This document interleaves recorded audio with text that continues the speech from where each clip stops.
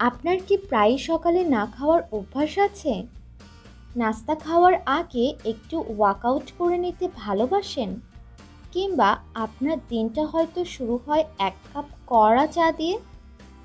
আপনি কি জানেন এমন কিছু কাজ আছে যা খালি পেটে কখনোই করা উচিত নয়? খালি পেট বলতে আমরা বুঝি খাবার খাওয়ার ঠিক দুই থেকে তিন ঘণ্টা পরবর্তী সময়কে। বিশেষ খাবার সহ কিছু কাজ এ অবস্থায় এড়িয়ে চলা স্বাস্থ্যের জন্য ভালো। চলুন জেনে নিই এমন কয়েকটি কাজ যা খালি পেটে কখনোই করা উচিত নয়। ব্যথার ওষুধ, প্যারাসিটামল, অ্যাসপিরিন, এ ধরনের ওষুধ কখনোই খালি পেটে খাওয়া উচিত নয়। স্বাভাবিকভাবে নিয়ম হলো ডাক্তারের পরামর্শ ছাড়া কোনো ওষুধই খালি পেটে না খাওয়া। খালি পেটে ব্যথার ওষুধ খেলে বড় ধরনের স্বাস্থ্য সমস্যায়, বিশেষত গ্যাস্ট্রিকের সমস্যায় ভুগতে হতে পারে। কফি, সকালটা এক কাপ কড়া কফি দিয়ে শুরু করার অভ্যাস অনেকেরই। কিন্তু আপনি হয়তো জানেন না কফি আপনার পাকস্থলীর পরিবেশকে অ্যাসিডিক করে তোলে। এর ফলে ভুগতে হতে পারে অ্যাসিডিটির সমস্যায়। সাইট্রাস ফলের জুস। খালি পেটে সাইট্রাস ফল যেমন লেবু, কমলা, আঙ্গুর ইত্যাদি ফলের জুস এড়িয়ে চলুন।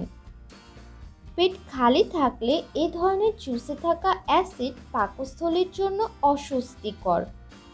বিশেষ করে যাদের অ্যাসিডিটির সমস্যা আছে, তারা কিছু না খেয়ে এই ধরনের ফলের জুস খেলে সমস্যায় পড়বেন।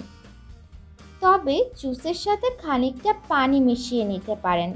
এতে ক্ষতিকারক প্রভাব কিছুটা হলেও কমবে। চুইনগাম চুইনগাম চাবালে আপনার শরীর সংকেত পায় এখন খাবার ডাইজেস্ট করতে হবে বা হজম করতে হবে। ফলে পাকস্থলিতে এক ধরনের অ্যাসিড নিঃসরিত হয়। পেট খালি হওয়ার কারণে এই অ্যাসিড পাকস্থলীর লাইনিংকে ক্ষতিগ্রস্ত করে। ফলস্বরূপ, তাৎক্ষণিকভাবে পেট ব্যথাযুক্ত কষ্ট পাবেনই দীর্ঘস্থায়ী অ্যাসিডিটির প্রবলেমকেও ডেকে আনতে পারেন। আর অবশ্যই মনে রাখবেন, চুইন গাম কখনো দশ মিনিটের বেশি মুখে রাখা যাবে না। ঘুম। খালি পেটে কখনো ঘুমাতে যাওয়া উচিত নয়। খালি পেটে ঘুমালে শুধু যে আপনার ঘুমাতে সমস্যা হবে তাই না, ঘুম তাড়াতাড়ি ভেঙেও যাবে। একটা বিষয়ে অনেকেই সচেতন নয় যে, ঘুম কম হলে ক্ষুধাবোধ বেড়ে যায়। তাই পর্যাপ্ত পরিমাণে ঘুম না হওয়ার কারণে পরের দিন আপনার অনেক বেশি ক্ষুধা লাগতে থাকবে। আবার ঘুমানোর আগে খুব বেশি খাওয়াও শরীরের জন্য ভালো না। এক্ষেত্রে ঘুমানোর আগে এক গ্লাস দুধ খেয়ে নিতে পারেন। ব্যায়াম।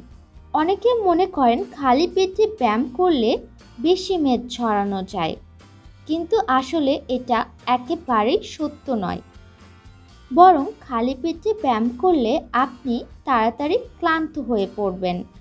বেশি ব্যায়ামও করতে পারবেন না। খালি পেটে যদি ব্যায়াম করেনি তবে একেবারে হালকা ব্যায়াম করতে হবে।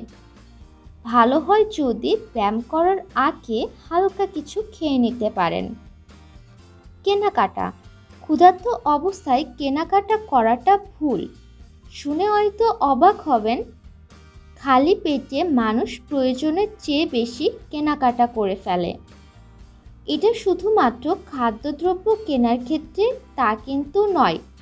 একটি রিসার্চে দেখা গেছে, অন্য ধরনের কেনাকাটার ক্ষেত্রেও ক্ষুধার্ত অবস্থায় মানুষ অপ্রয়োজনীয় জিনিস কিনে ফেলে। কেনাকাটা করতে যাওয়ার আগে একটা লিস্ট করে নিতে পারেন এবং লিস্টের বাইরে কোনো কিছু কেনা থেকে বিরত থাকার চেষ্টা করুন। একটি স্বাস্থ্যকর জীবনযাপনের জন্যে আসুন আমরা সবাই আমাদের খাবারের তালিকা থেকে junk food, heavy food, soft drinks এগুলো বাদ দিই এবং দিনের শুরুটা করি একটি স্বাস্থ্যকর খাবার দিয়ে।